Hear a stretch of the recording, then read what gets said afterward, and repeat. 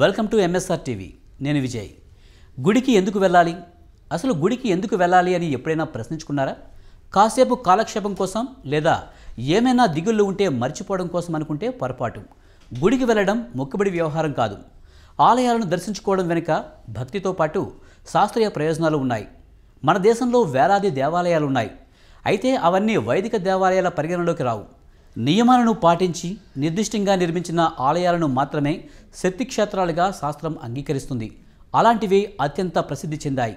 ఇతర దేవాలయాలు కూడా పవిత్ర ప్రదేశాలే అయినప్పటికీ కొన్ని ఆలయాలు మరింత పునీతమయ్యాయి.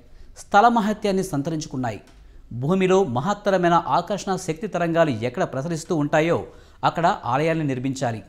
ఇంకా అర్థమయ్యేటట్టు చెప్పాలంటే ఉత్తర దక్షిణ ధృవాల మధ్య ఎలా ఆకర్షణ శక్తి ఉంటుందో అలా భూమిలో పాజిటివ్ ఎనర్జీ పాస్ అయ్యే చోట ప్రసిద్ధ దేవాలయాలు ఉన్నాయి అందుకే అలాంటి గుళ్ళల్లో అడుగుపెట్టగానే తనువు మనసు ప్రశాంతత పొందుతాయి.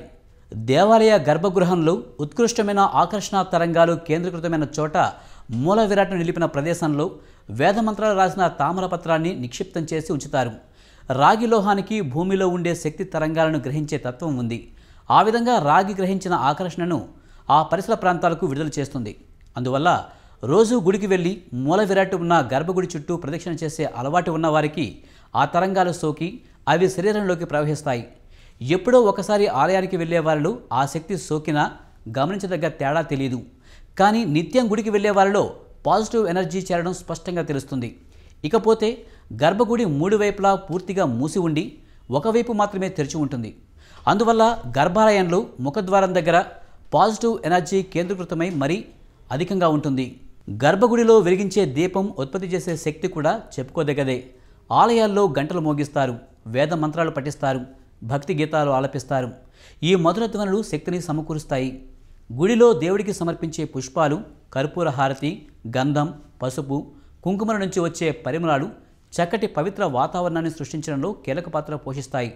మూల విరాట్ను ప్రతిష్ఠించిన ప్రదేశం నుండి విడుదలయ్యే మహాత్ర శక్తి తరంగాలకు గుడి గంటలు మంత్రఘోష పూల పరిమళాలు కర్పూరం అగరొత్తులు గంధం పసుపు కుంకుమల నుండి వచ్చే అపూర్వమైన సుగంధం తీర్థప్రసాదాల్లో ఉండే ఔషధ గుణాలు అన్నీ కలిసి ఎనలేని మేలు జరుగుతుంది.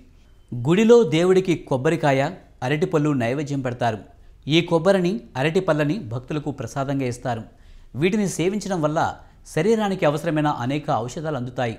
తీర్థంలో పరచకర్పూరం యాలకులు సాంబ్రాణి తులసి పత్రాలు లవంగాలు మొదలైనవి కలుపుతారు.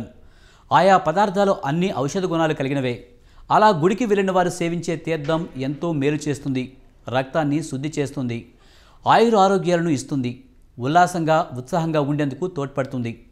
భక్తులు గుడికి వెళ్ళి దేవుణ్ణి దర్శించుకున్న సమయంలో గర్భగుడిలో దీపం వెలుగుతూ ఉంటుంది. కర్పూర హారతి వెలిగిస్తారు. గంటలు మోగుతాయి. తీర్థ ప్రసాదాలు ఇస్తారు. అలా అన్ని పాజిటివ్ ఎనర్జీలు సమీకృతమై భక్తులకు ఆనందం ఆరోగ్యం లభిస్తాయి.